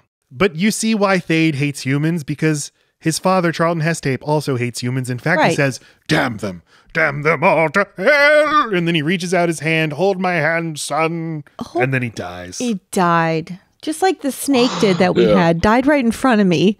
I was like, oh, look, oh, look, the snake, Frank is perk- perking up. And he sticks his little head out. And he, Just to hold your mummy. And then I've never died. seen something die in real time except my dad and that snake. And they're both named Frank. Oh my god! I didn't even think of that. Crazy. Oh, So, uh, you doomed that snake from the beginning. yeah, we should have we should have uh, second guessed that decision. I, Also, shouldn't have given him cigarettes. the snake, he loved them. So the whole time they've been mentioning Calima. It's like our holy land or whatever. It's it's like the forbidden zone from the verse movie. Calima. And you know, you're like, I'm sure Calima's gonna be revealed to be something. Oh, it's actually California, Louisiana, Mexico or something. but um Lacey, what uh, uh what happens next in the movie? Okay, well, they reach a camp. They read they they uh fuck, I don't know why he knows he needs to go that way. Oh, cuz his little Geiger counter is pointing. All right. So, um Captain Astronaut is following his Tamagotchi and it's it's, it's taking them into the path of of of a giant camp of of apes who are military apes. I'm not completely sure why it is that they're on the border of the water? Is it to protect them from getting into Calima, or is it that they always camp there? They love being by the water they're scared of. Uh, Oh, I thought you were about to clap. Like, what did I do? All right. Yeah. The two apes with them are three. Are deathly scared. Three.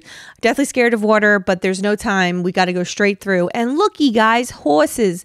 Oh my God. And so they all get a horse and they plow through the camp. And uh, the slave trading monkey is mis- sorry ape is mistreated and bloodied by his brethren and now now he's fully on the side of the humans that he's been traveling with also there's a moment of weakness from ari who returns to the ape camp i think because she's feeling jilted by no, that's later. but she got the thingy on her hand Well, she goes back. that's later That's later, Oh. and I don't, and I think she's going to as a. Um, she's not feeling jilted. She's trying to trick oh General Thade. Anyway, this is just Whatever. obstacle. They overcome the obstacle. They They, make it overcome the through the. They make it through the ape military camp, and they arrive at Calima, which is just the And Oberon. But the Mark other- Wahlberg's like, "This is my ship. Calima. It's been here a thousand years. What's going on?" I thought that was pretty cool. I didn't expect that. Oh, see, yes, this is this is the shit I like. Yeah, this is now. Now I'm like, let's get into it. What are we gonna do with this ship? We're gonna make it fart one time. and he uh we we find out Calima is just caution live animals Oh, I didn't even notice that. with, with a tiny little bit of dust over very strategically covered letters that they then blow off. And they're like, this Yeah. isn't Calima at all.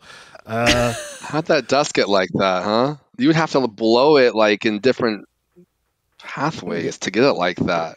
That doesn't fall in What, different br- what brushed spots and onto it? on a sign like that. It's weird. You also realize that Kalima sounds just like the the curse in Indiana Jones and Temple of Doom. Kalima, isn't that what he says? it do- Kali, Oh. yeah, Kalima, yeah. Kalima. You're right, it does. There was live animals, live animals in that uh, in that in those caves. Also, we never knew. they were eating Off-screen. monkey brains. It's a callback. Lacey remembered a movie. How about that? I I know movies. I know monkey brains.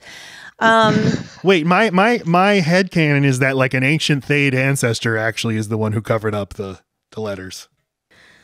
they could have picked any arrangement of letters. I, well, who cares? We're. Who- stuck on you know, something strange here. Who cares? I mean, they didn't have to name anything, name it that at all. They could just name it whatever they wanted to. thing that makes me feel like so like oh he, he came home is when his tamagotchi clicks into the little holder i mean his hand opens the thing that's cool but like in case people miss that he then goes and clicks his little thing in his ship and just in that moment they all believe i'm like yeah i come from this ship and what i was and then it lights up and lights come on or whatever and and then yeah then he sees warning messages and it's a call back to the beginning when the guy in, in the in the Oberon, Oberon was like, "We're getting quite the mayday. It's it's all scrambled. We don't know what it is."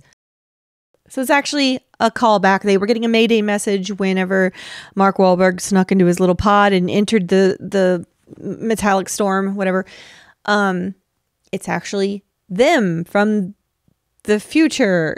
They had landed on that planet looking for Mark Wahlberg, and the apes rapidly started becoming smart and in tuned or something, and they took over. And it's them, it's them very conveniently explaining what happened to them before they die. In fact, the lady is telling us the last little tidbit and then dies on camera. So Yeah, it is. It is helpful. They're like, once we crash landed on this planet, our apes suddenly became very helpful. In fact, there's one ape named Semos who's very intelligent and very help. Oh no, Semos, no! Ah, I think You're attacking me! Don't kill me! right, you're not this. Don't love Mama. Don't love Mama like this. Mama don't like that. They say at the beginning of the movie that Pericles is about to be a convenient, but it's father. still a is the implication that It's a cool little twist. I to think be it's clear, cool. I love this. This is the Yeah. this is the reason I like the movie. I love this shit. I like it, but I Uh-huh. was saying Right. I, I got so heartwarmed when he when he popped his little gadget into the hole and it lit up that I, that if that were me, if I were him, I would sit there for hours and I just keep connecting it, keep connecting it, keep. It'd be the only thing that felt like home. It's very satisfying. It's very yeah. satisfying. Um. Okay. Well, is the implication because they say at the beginning of the movie that Pericles is about to be a father? Is Pericles' new son? Is he supposed to be Semos? Maybe maybe he evolved because because if that planet made the made the primates on the ship more helpful, there's something in the nutrients, something in the water, something that's like enriching their brains and helping them rapidly mm-hmm. grow and become more intelligent. So maybe a a primate born on that island can just rapidly evolve. I don't say know. Wahlberg says that Pericles is like genetically altered to be smarter. Oh. So, uh, and I, I looked up the name. I mean, Pericles was an ancient Greek statesman, so I looked up Semos. Was Semos his son? Nope, Semos, no, not a reference to anything. It's a delicious cola. Um, yeah. Now all the humans, because this this planet has lots of humans. Remember, they're populating much faster than we apes in our affluence and lethargy can. They're going to overrun us quickly. Well, now here are all the humans gathered, and uh, they're looking for a leader. They're looking for you, Captain Mark Wahlberg. And he's like, I have no interest in leading anybody to do anything. I only care about myself. so there you go. That is very honest of you. this is the point at which Ari goes to see Yeah. General Thade and offers herself as a sexual partner. And he takes a brand that is very conveniently in his tent and brands her. And he's like, You want to be like the humans that live like them. And uh, now she has a brand. And this is why Wahlberg decides he will be a, his- a hero after all. He's going to be the inspirational hero to all these humans in their war for the planet of the apes. Which his big plan is this ship has enough nuclear power in it to blow its engine Yeah. at a group of of first first battalion That's right. the front line, the least important of the apes. Well- we're gonna we're gonna catch them on fire. That'll well, do it's it. A it's a military you know tactic. That's I mean that's that's a big weapon. Like basically saying like every time you come closer to me, whoever you, all the ape you know generals are going to blow you up. So they don't know this is one time or I mean we don't That's know how many times they can really do that. So right. it's I just to it was scare the hell out of the apes. You saw this giant fireball. That's true. And then, you know, the battle, the battle sequence. I, I I think it's pretty well done. I know Lacey didn't like it. What What do you think about it, Joshua? Just just as a pure action sequence, the big war. Yeah, I think it's fine. I don't think it's anything technical like that exciting or anything. Um, it's got some more of the jumping. I don't like the jumping apes in this movie. I don't think they- jump way too high, like on trampolines. I don't like that kind of stuff. yeah. So do some of that here, I think. Um, but I don't have a problem with the fight in general. But while I do have a problem with again some of the problems with the script, like how everybody, all the human tribes, all the humans from all the different tribes all over the world come together at one moment. They say like, "Oh, we've heard about your legend and stuff like that." Well, how did they hear about it? No one's Right. talked about it. The, the the people that know about him, it's it's been like one day or two days, and they only they're all in one area. They're all still with him. No one went to go talk to the human tribes, and they have no way of communicating. So like, how did that? You know, plot. There's a lot of plot contrivances in this movie, and as I saw it again just a couple days ago, then that's when I really saw the, the problems of the script again more than I did when I was a teenager.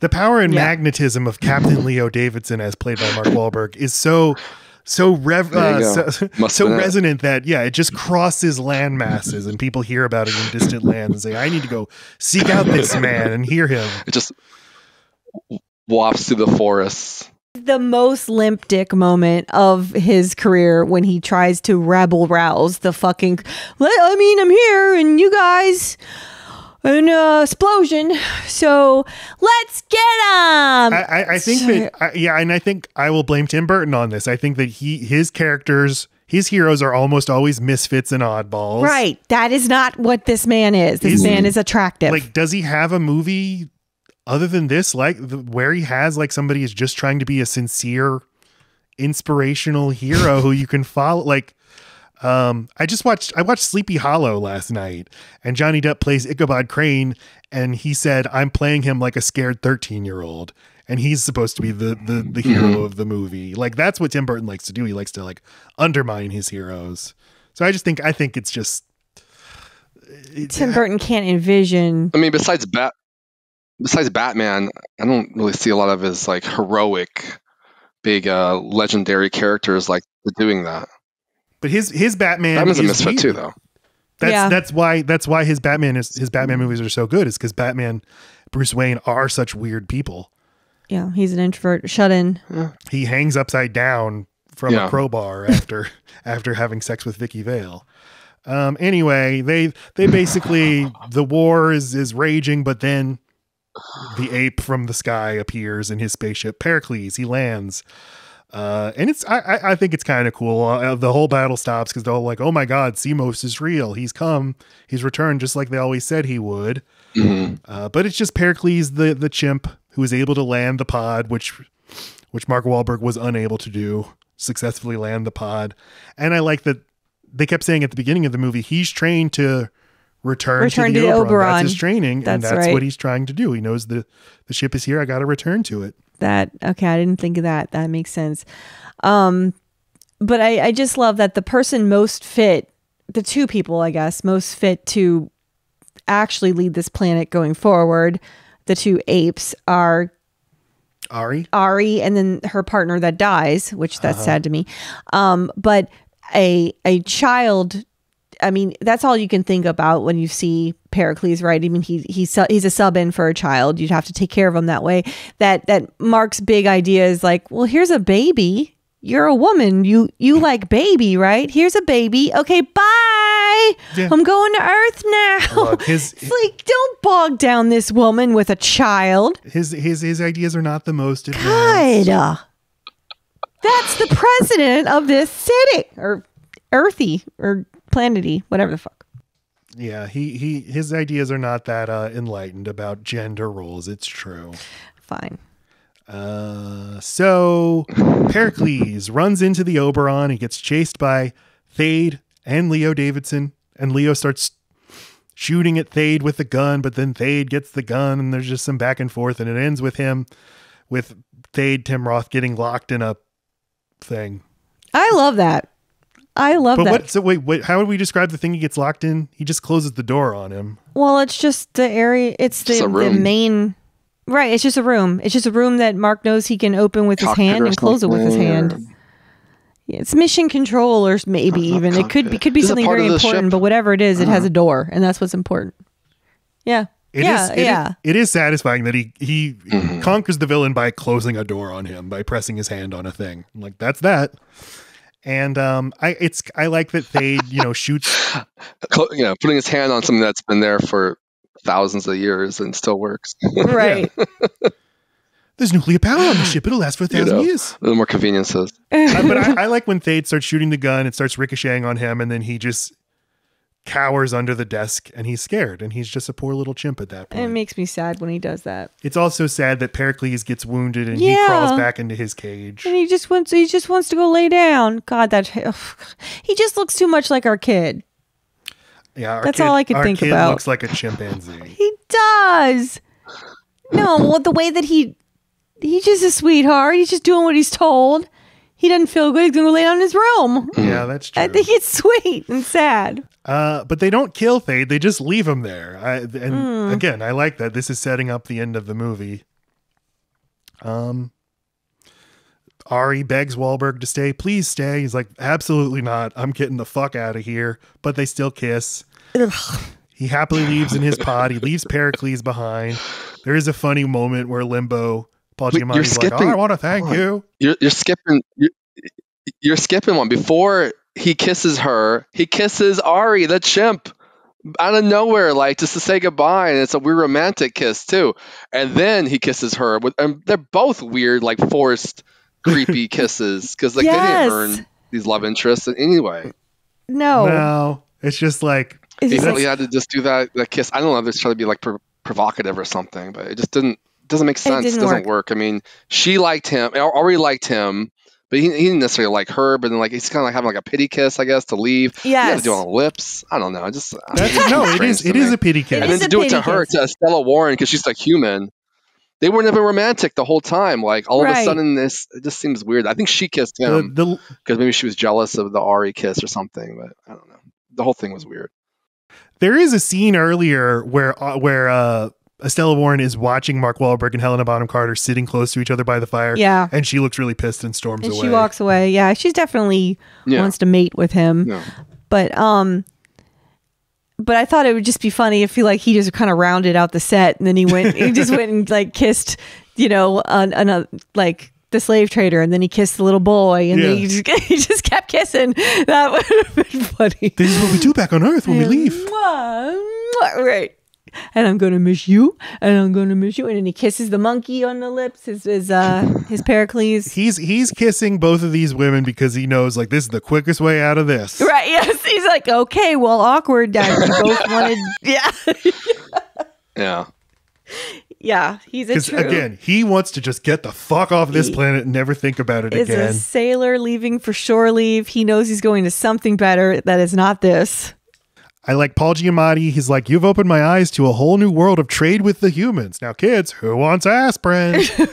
I like that he he hasn't learned anything. Uh, yeah. So now the end of the movie. Lacey, explain what happens at the end of this movie. All right. So he gets it, it, it he you know what happens to Captain Theo Greyjoy or whatever the fuck his name is? Mm-hmm. He gets exactly what he deserves. He hops in the pod, leaving everyone behind after completely changing their world. They don't know what the hell to do with themselves, plus giving a baby to a perfectly fine woman who was going to be a leader. And he goes into the same time warp mm, electric storm and thinks he's gonna go i'm gonna go to earth yeah with all my bros because you know i don't want to miss the wedding of my friends They- uh, that lady got engaged in that video that they sent me. And, and he and then, and then what do you know? It says it says earth on his little computer and i was like matt what if it says earth you know he just saw it wrong. Earth anyway okay so he goes to that planet and and he lands and and it's a human talking to him and per, you do not have permission to land. It all sounds very america. It sounds very air traffic controlica. And and you realize, oh, silly, you're landing in the the freaking memorial long swimming pool thing that's right in front of The mall. um, right in front of the mall. That. That's what it's called, the I'm mall. kidding, I know. Okay. You're landing right in, in into the uh, Lincoln Monument, and he's like, "Well, I'm gonna have a big." Bill on here, but at least I'm back to earth. And he goes up the steps, and Abe is um ape. Yeah. He's Ape Lincoln. What a twist! Yeah. I nailed it. He's back on Earth, but now it's filled with apes. What the hell? Audiences hated this ending. I like it. When I saw it as a kid, I was so confused, but I still liked it. Uh, but they had to include an insert to the DVD to explain to explain how this works. Do you have it with you there, Josh? Did you just Joshua? Did you just pick up an insert? I actually, I actually own this one on uh, two disc collector's edition on DVD because I, I did like it, and I watched all the extras and stuff again for this uh, comment or this um, not commentary but discussion podcast. Um, yeah, there's one little part that says like, oh, what if somebody came before uh, Leo got back? And apparently that's what they did. So they got in his spaceship at some point, and the way that this, you know, the answers for this why this people are like, oh, why does this? How did this happen? It doesn't make any sense. It makes sense with time travel, you know, Right. shenanigans. You know, you saw how how the Pericles got in. He left before uh, Leo did and got in the thing, and he, he arrived way later than him. Well, same thing that happened to Thade. He, he left later than Leo did, but he got there way earlier than he did. That's because you know time Right. travel was not is not it's cyclical. It's not it's not linear. So that's how it happened. And he was able to Yeah, it- influence. I don't know. Maybe he brought a bunch. I didn't. Somebody got the. They got the whole spaceship dock working. They got brought a whole bunch of armies in there, and they took over and they eventually over thousands of years i guess they took over the human race again and that's how they it's weird that it's lincoln but it just should be like some kind of politician it doesn't have to be lincoln's figure or like 1600s it has to be you know uh, someone they, they they made a statue of because he led the people to freedom or whatever or human apes to freedom I think that the movie That's what I say. the movie technically does show you that like the electromagnetic storm like reflects time, so things that happen later on one end will happen earlier on the other end, but it doesn't make it very clear. And like I definitely didn't realize that when I watched it for the first time. And then I turned on Tim Burton's commentary and he's not helpful at all. he's like, I just thought this ending would be like cool or something. I thought it was cool. I, Um, you can't escape your problems. You're you're going to have to deal with people being different from other things, and you're going to have to find a way to live on the planet you're on in harmony with these things. And that's what I thought the message was: is like you want to get in this pod, and you got on that spaceship and and made that decision to do the work you were doing because you were probably trying to run from something or make something better or, or you thought there was something better out there. And then you leave this planet because you're running and you think there's something better out there and you just keep finding yourself in the same place. And I think that's the message, right? just stay where you are, don't do anything. no, just find a way to get along. We're all just going to keep finding each other. Yeah, okay. I There you win.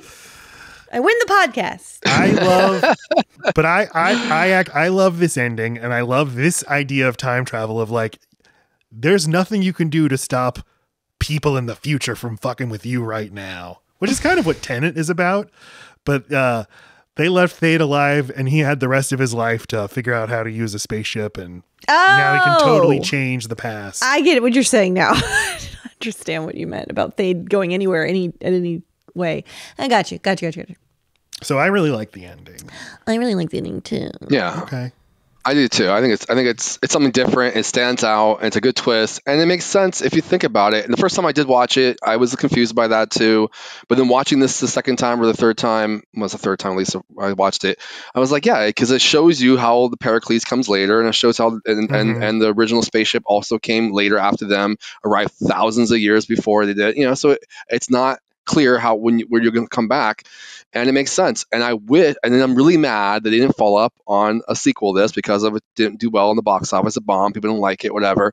But um, that's why they left it open like that to do it to explain it more in the sequel. They were planning on doing that. it, it it actually did do really it it was a big hit they just the studio uh it was the rare instance of the studio knowing that nobody liked it and there wasn't an appetite for a sequel it was remarkable restraint Oh, because okay. usually uh, it was a hit, Okay. but the, but Tim Burton wasn't interested in in doing another one, Right. and it and Yeah. without He didn't I- and I guess maybe maybe everybody just had a bad experience. They they weren't going to get any of the same people back on the project. The reviews were bad. The only person who Oh. liked it was 13 year old Matt Stokes. So okay, well you said it was a hit, so like who the fuck's like? So you're saying the Rotten Tomatoes is like really I don't skewed think it was a one? huge hit. see, I think it was a, it was a hit, but I don't think people actually people went to see it and then left the theater saying that was bad. Oh, okay. So it But they it, already had the money. It just had a big. it made draw. only 180 million in America on a 100 million dollar budget and 362 million worldwide. So it's a it's a That's hit. that's I big wouldn't for say it's a 2000. giant hit. No, it's, for it's decent enough that's for a big. sequel. That's that's really big for. I mean, Yeah. much much less successful movies have gotten sequels.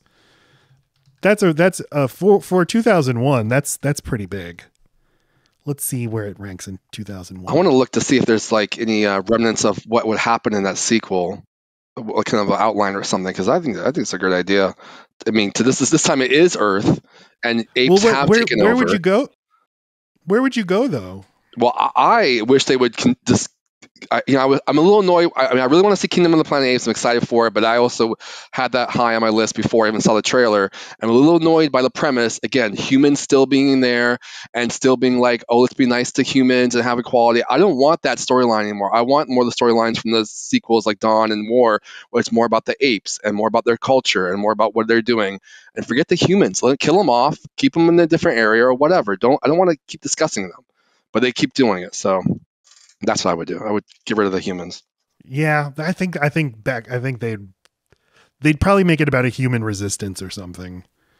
like 'Cause- like them really getting together. yeah, Yeah, because taking it back. I don't think they were like I think now the the new apes movies are very much about the apes and there are very few human characters uh, and the apes are way more interesting than the humans um, but they're probably you know back then they thought no nobody's gonna want to see a movie that doesn't have any people in it Yeah. Yeah, Avatar wasn't a thing yet.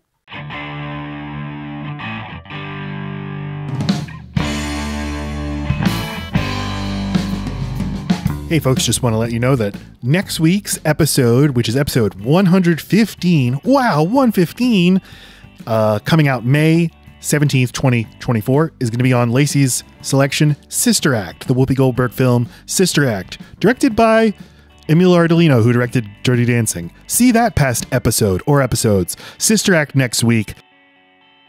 Okay, let's go around the room and give our final thoughts and our star ratings for Planet of the Apes 2001, starting with our guest. Yeah, so I uh, give this three and a half stars, rated enjoyable. Like I said, I think it's good enough. I think it's got some really good things in it, but it's got all these problems with the script and the characters. They don't care. You don't care about the characters.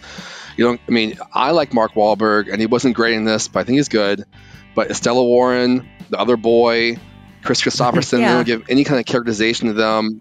You don't learn much Nothing. about Thade or General At or whatever At uh, Lieutenant Attar, you Michael Clarke Art Dunn's character. You don't you don't hear much about them. There's not much backstory. There's not much development in their arcs or anything like that. So that's really the problem. But like the production design, the costumes, the makeup, like Rick Baker, are all amazing. So I mean, like I said, it's it's good, but not great. I think that's fair. Lacey? I gave it two and a half. Um, I felt like it had dips in energy, or it might just be me dipping, but mainly I just felt like I did not know exactly what tone it was going for. I was very distracted by Tim Roth the whole time. Um, it felt it felt like there were fun moments, but because of the cruelty of the monkeys toward the humans, it just kind of it harshed my vibe, man. Uh, I don't want to watch it again, and uh, so two and a half. I, I, I acknowledge amazing costume, amazing makeup. There were very good performances in there. They just weren't all good performances. Surprised you gave it even that much because you uh, seemed Or really. did I give it a two? Let me go to Letterboxd. You seemed really unhappy in the moment I was unhappy in the moment, with the movie, not with the world. Uh, but at toward the end, once you got once you get the spaceship, I was like, okay, this is kind of interesting. Um, I gave it two and a half. Yeah, two and a half. Hmm. Okay, I'm I, I'm I'm torn between two and a half and three. My threshold for recommend is three. I don't think I'd recommend it, but I still have a lot of affection for this movie, and I would sooner watch this again than I'd watch any of the new movies. I think you have to give it a three because of what it means to you. Even though I acknowledge those are better movies, more uh, accomplished movies, and they have something to say. I mean, every Planet of the Apes movie is Yeah. inherently political, except this one, which is a uh-huh. big problem. Right. What was it saying? It just sexy boy gets trapped on mean island and wants to get away. What it's saying is don't fly through that storm. Right. Yeah. It's like, Stop going through the. Yeah. When you're in a spaceship and you're on your way home, maybe don't find the most dangerous thing and go into it. And it's like if I ever encounter that situation in life, I'll remember my training from Tim Burton's Planet of the Apes. But other than that, I got nothing. I think Mark Wahlberg is disastrously bad, and he, Oh wow. for the most part, I I, I like Wahlberg. Um, like I did you, did you did you see the Uncharted movie, Joshua? yeah, I, I've seen uh, um, almost all his movies. Yeah, Uncharted. Yeah, he's fine in that. But did you like that movie? I'd probably give it like a three and a half, same kind of thing. Like it's it's enjoyable, but it's not good, like great. And I'm not, I wasn't a big fan of the game. I haven't played a whole lot of the game, so I don't know like all the problems with it, like a lot of the gamers do. It doesn't have a lot of the game stuff in it. Well, wh- him in that movie, and he's the second lead of the movie. Tom Holland's the lead. But ev as I'm watching those two together, Yeah. I think like Mark Wahlberg needs to be the lead of this movie. He has an innate movie star quality. Yeah, he does. even when he's not totally engaged. Right. Uh, he he he just sort of has that screen presence, but it seems like it's just not in Planet of the Apes at all. right. It's way. uh, I think it truly is that Tim Burton didn't know what to do. I don't, I don't, I don't see a big problem with it. I don't think he's got enough of a character to really, you know, latch Exactly. onto like he does. Right, right. Like, you know, Right. Mark Wahlberg is a good actor, but not. A, a, he doesn't have that. He doesn't flex his range very much. Like one of the things I do on my letter, on my Letterboxd is actually um, rank um, performances by actors. And what I did for his, I was like, well, a lot of these are kind of the same. So like, how do I rank these? There's only a few that he really stretched, like Boogie Nights and Father Stu, and um, trying to think of other ones. Uh, he's The Departed. The Departed. He's great in, but he does the same kind of tough guy stuff. You know, He's like. He's played the same kind of character in so many movies, like Four Brothers and the Transformers movies, and Yep. and um, Is he in the perfect storm? I mean, uh, Contraband and tons of stuff. Perfect Storm. He's good. Yeah, he's a little different. Perfect Storm. He's got a beard. uh, I guess that's a, good range there. rated beer. Um, but yeah, I, I always like I like him, but I can see how people don't like. Oh, Fear is one of his better roles. Fear. Where he's a little bit different. He's like Yes, psychotic, because you he's- know, like those kind of things. Like, sinister. I wish he'd do more of those. I do too. I loved him in Fear. I just and, and but I really feel like the problem is is Burton just more interested in the production design and the uh, costumes and the uh, than in telling a very captivating story. Yeah, Tim, But- Bur- Tim Burton relies on huge gravitas actors who can make a mountain out of a can can do a lot with a little and and they're weird they lean into the weird where it just he isn't weird he's too vanilla to be weird you can't that's the other. It's just you it's just you're a bad match. it is a bad match i like that they liked each other though Yeah, that's nice. i Yeah. love that I like that they like each other. Okay. Um, all right It's just not enough enough complexity, I think. Um, I also I also want to mention real quick that um, hold on. So I also want to mention that Terry Notary also uh, is one of the first times he did like the movement um, coach that went to ape school. You know, for all the actors, like all that stuff is great. You know, the different ways like getting on the horses and climbing on things. And Terry Notary also worked Oh. on the new you know Rise and Dawn and and War as a movement coach, and also played Rocket, uh, one of the main characters as you know an ape.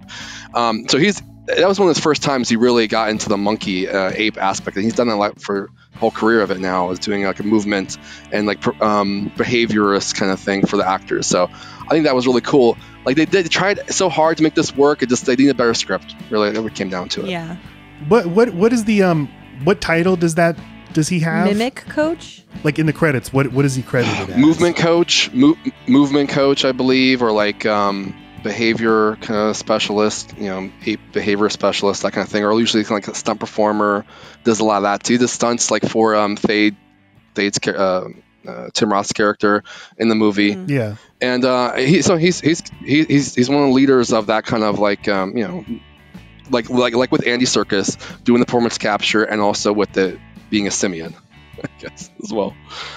yeah that that that would have really taken me out of it if those things weren't there but sometimes it took me out of it how present they were there because i wouldn't say that that's a big uh, thing that they focused on in the original but their costumes were enough for me.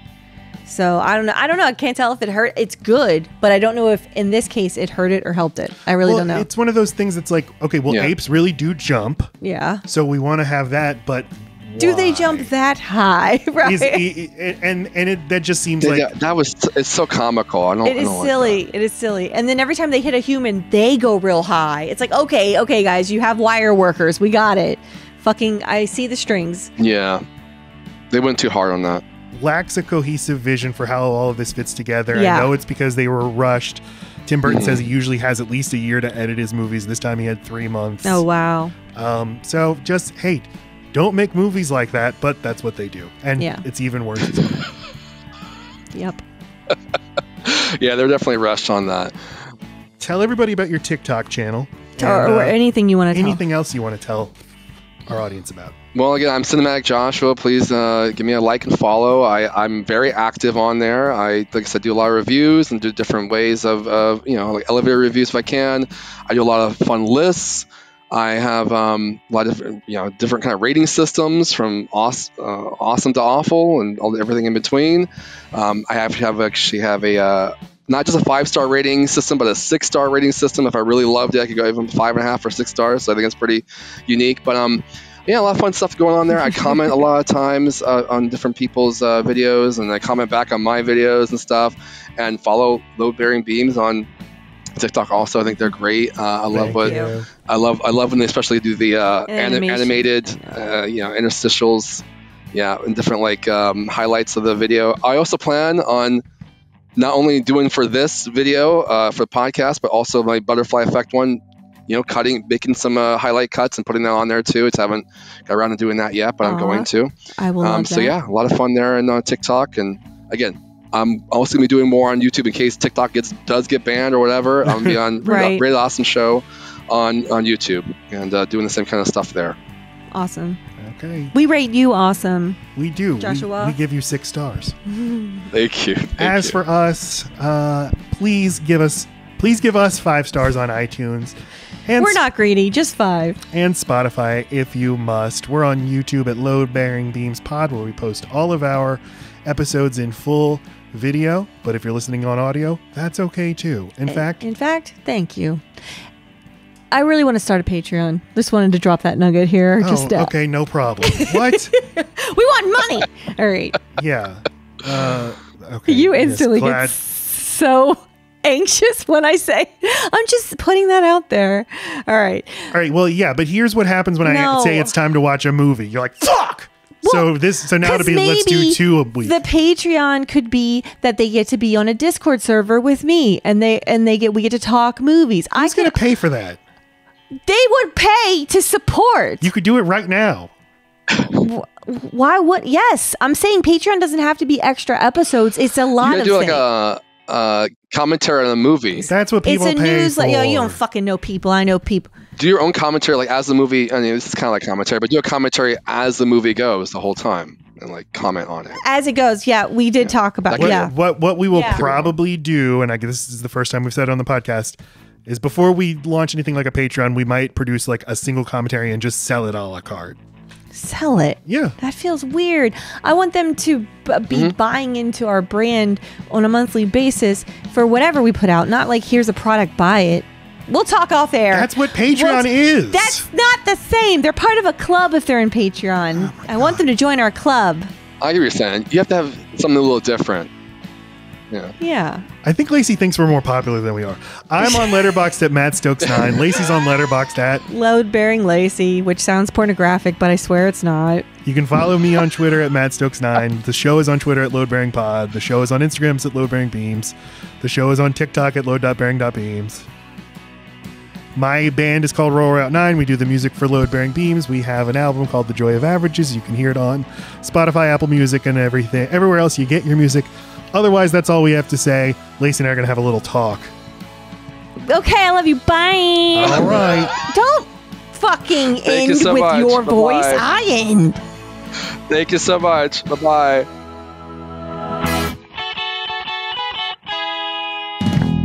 Three, four.